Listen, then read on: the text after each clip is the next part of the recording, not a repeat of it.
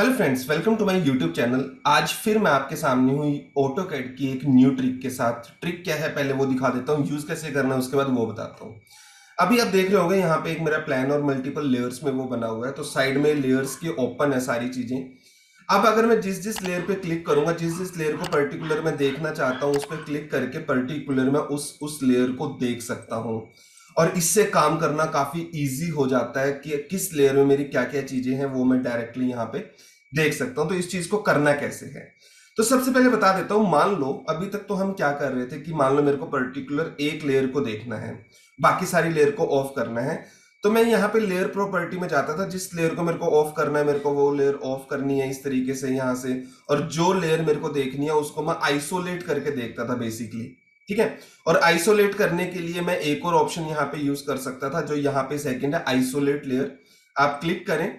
मान लो आप टेक्स्ट वाली लेयर को आइसोलेट करना चाहते हैं तो आप यहाँ पे इसको सिलेक्ट करें और एंटर करें।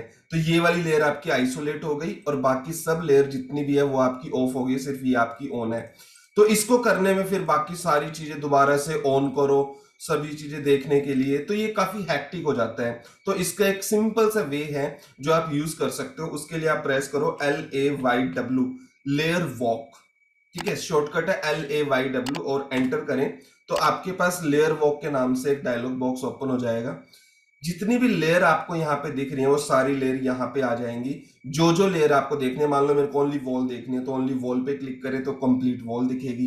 विंडो पे क्लिक करोगे तो विंडो दिखेगा। डोर पे क्लिक करोगे तो डोर दिखेगा। डायमेंशन पे क्लिक करोगे तो ओनली डायमेंशन दिखेंगी।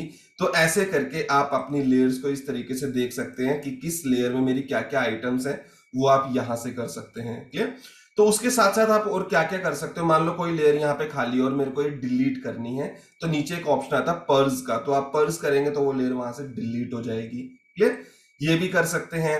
आप ये भी कर सकते हैं कि पर्टिकुलर लेयर को आप क्लिक करके अब मान लो मेरे पास यहाँ पे 20-25 लेयर हैं। मेरे को पर्टिकुलर एक लेयर देखनी है कि इस लेयर को ही मैं देखना चाहता हूँ।